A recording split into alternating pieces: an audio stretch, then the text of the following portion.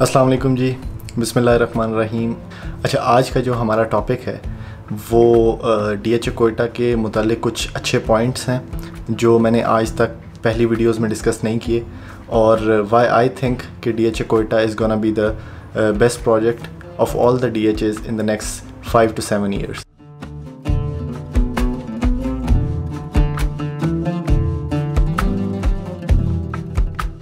जो next point है D Quetta के लेटेस्ट रेट्स के ऊपर बात कर लेते हैं। आज की डेट में उसका रेट क्या चल रहा है? और तो मैं आप लोगों को बताना चाहता हूँ कि डी कोयटा इस टाइम पे जो कनाल एफिडेविट है, वो तकरीबन 68-69 के अराउंड उसकी ट्रेडिंग हो रही है। 68-69 लैक्स के अराउंड और कुछ लोग ये बोल रहे हैं कि ये वापस 45-50 लाख पे आ जाएगा या 55 लाख पे आ जाएगा। तो ये मज़ाक नहीं लगा हुआ डी एच कोयटा में। ये रेट नीचे नहीं आएगा। हाँ वो करेक्शन वाले जो थोड़ा सा फ़ेज़ होता है, वो हर सोसाइटी पे आता है, हर उस सोसाइटी पे आता है जिसमें ओपन एफिडेविट्स ट्रेड हो रहे हो और हर उस सोसाइटी पे आता है जिसमें हवा भरी हो।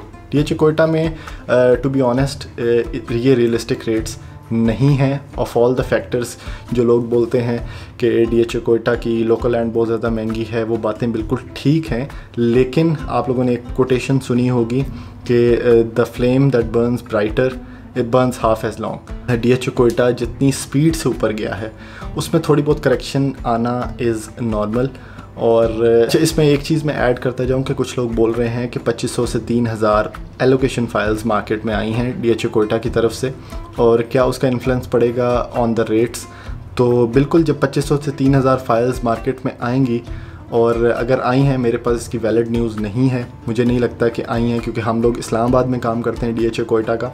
तो इस्लामाबाद में अभी इतनी अमाउंट ऑफ़ फाइल्स मार्केट में नहीं आई। अगर आई भी हों तो मुझे नहीं लगता कि इसका रेट का इम्पेक्ट इतना ज़्यादा नीचे गिरेगा कि वो पचास पचपन लाख रुपए पे आ जाएगा। पच्चीस सौ से तीन हज़ार परचेज़र आराम से हर टाइम पे डी एच कोयटा की मार्केट में अवेलेबल होता है। तो अगर इतनी फाइल्स आती भी हैं तो मेरे ख्याल में within a matter of days within a matter of week ये फाइल्स सेल आउट हो जाएँगी। और इसका इम्पैक्ट यही होगा कि पाँच सात लाख रुपया मार्केट ड्रॉप करे, इससे ज़्यादा नहीं। अर्ली बर्ड के रेट की बात कर लेते हैं अर्ली बर्ड का रेट आज की डेट में तकरीबन एक करोड़ पैंसठ लाख रुपए से एक करोड़ पचहत्तर लाख रुपया चल रहा है। और उसमें यह है कि अवेलेबिलिटी ऑफ़ फ़ाइल पे डिपेंड करता है। जैसे मैंने आपको पहले बताया कि अर्ली बर्ड की फ़ाइल अवेलेबल होने पे उसका रेट होता है। उसमें अगर फ़ाइल आपको एक करोड़ अस्सी लाख रुपया कोई बंदा डिमांड करने लग पड़े और फ़ाइल अवेलेबल ना हो because of the shortage of files तो उसका रेट एक करोड़ अस्सी लाख रुपया ही होगा। This is the benefit of early bird कि जिन लोगों ने अभी तक अर्ली बर्ड में इन्वेस्टमेंट नहीं की, उनके पास ये अमाउंट है, वो अर्ली बर्ड में ही इन्वेस्टमेंट करें। और जिन लोगों को ओपन एफिडेविट समझ आता है तो ये जो थोड़ा बहुत रेट नीचे आता है, इस पर कई लोग बैठ जाते हैं वेट करने पे। और वो कहते हैं, जी, पचास लाख रुपए पे आएगा, किसी ने मुझे बता दिया पचास लाख रुपए पे रेट आएगा तो तब परचेजिंग करेंगे। तो मैं आप लोगों को ये बताना चाहता हूँ कि पचास लाख रुपए पे इसका रेट भाई नहीं आएगा, कभी भी नहीं आएगा। ये साठ, पैंसठ, जो भी आपको अमाउंट आपने अपनी साइकोलॉजिकल वैल्यू से देखना है कि आपको किस रेट पर फ़ाइल समझ आती है।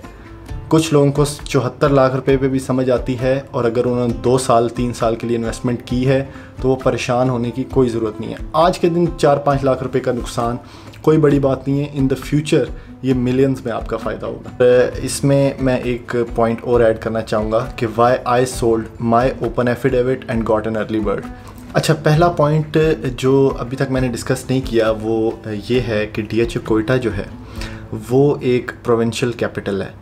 डी एच कोयटा बलूचिस्तान का प्रोविंशियल कैपिटल है और जो सी पैक कॉरिडोर है, उसके काफ़ी अच्छे असरात इस पर मुरतब होंगे आने वाले वक्तों में। तो ये दो पॉइंट्स अभी तक मैंने डिस्कस नहीं किए थे।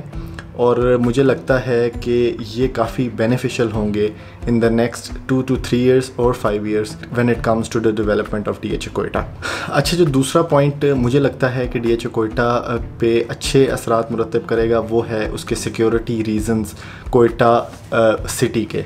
कोयटा में जो सिक्योरिटी के इश्यूज़ हैं, उसको अभी तक जो सोसाइटी डील कर सकी है या अभी तक जिस, जिन लोगों ने उसको मिनिमाइज़ किया है, वो सिर्फ़ कैंट का एरिया है।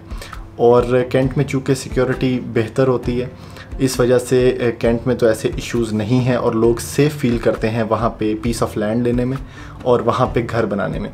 तो डी एच कोयटा अभी दूसरा ऐसा प्रोजेक्ट है वहाँ पे, कैंट के बाद, कि जो आपको इस तरह की सिक्योरिटी हाई लेवल पे प्रोवाइड करेगा कि लोग अपने घरों में सेफ़ फील करें।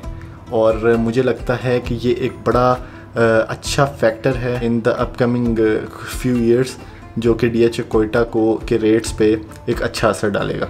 अच्छा जी नेक्स्ट पॉइंट पे चलते हैं कि मैंने अपना ओपन एफिडेविट क्यों सेल किया और why I got an early bird और इसकी मैं आपको कुछ रीज़न्स बता देता हूँ। मुझे ऐसा लगता है कि डी एच कोयटा का जो ओपन एफिडेविट है, वो थोड़ा अनस्टेबल है।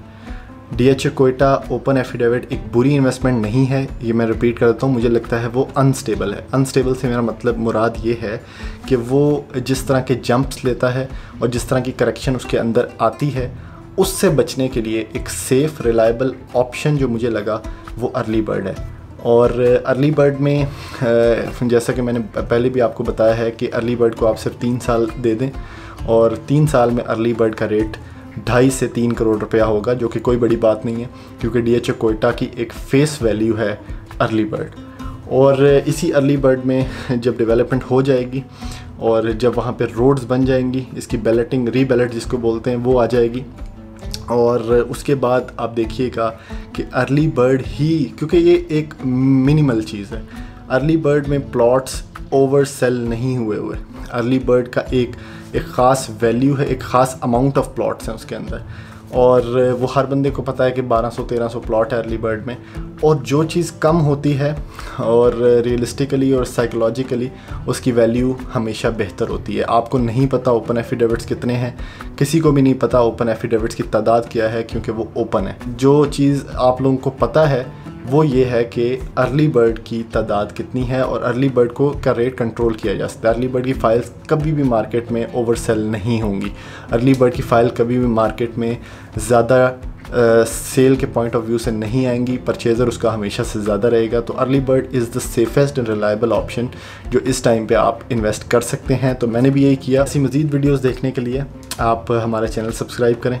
इस वीडियो को ज़्यादा से ज़्यादा लाइक करें शेयर करें, ताकि मैक्सिमम लोगों तक ये वीडियो पहुँच सके। थैंक यू अल्लाह हाफिज़।